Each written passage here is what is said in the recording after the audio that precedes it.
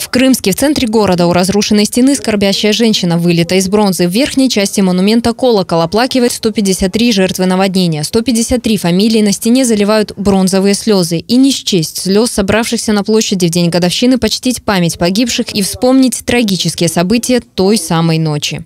Трудно говорить.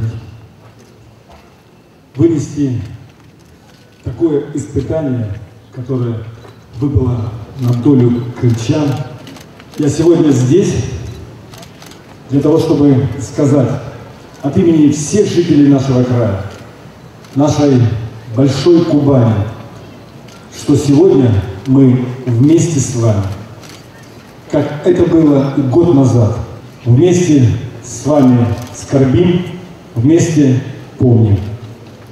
Давайте почтим память погибших минутой молчания.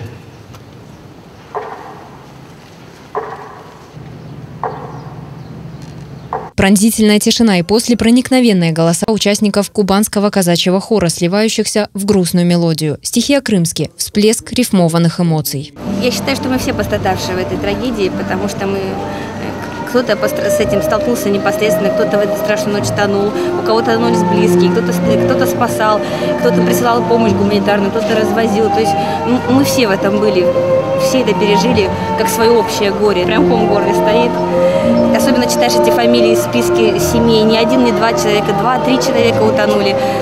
Очень тяжело в общем, нам всем тяжело в этот день, и я очень надеюсь, что больше никогда такая трагедия не повторится. В небо выпустили 153 белых голубя символично. Как булка хлеба на постаменте – это первый отклик людей на горе крымчан, первая гуманитарная помощь от жителей соседних городов. Представители штаба Анапы, работавшего в Крымске с первого дня, возложили цветы к новому в городе памятнику. Неофициально каждый приехал по зову сердца. Зажгли фонарики – еще один символ спасения и жизни. Я вспоминала те страшные моменты, которые мы видели, когда приезжали сюда волонтерами помогать людям.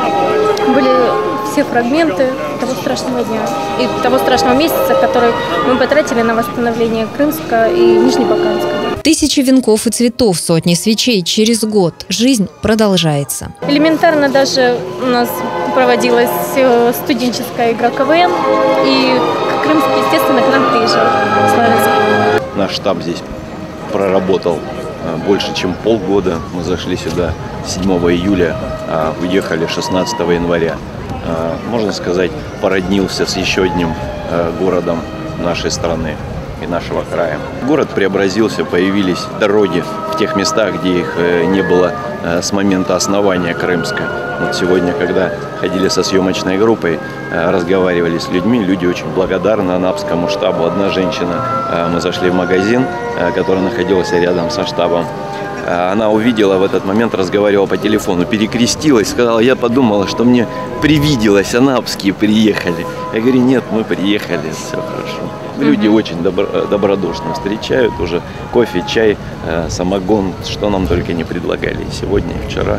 Беда может коснуться каждого. Важно, чтобы рядом были люди готовые помочь и помогающие. Просто так, по неписанным законам совести и человечности. Наталья Пухальская, Александр Кореневский. Она по регион. Крымск.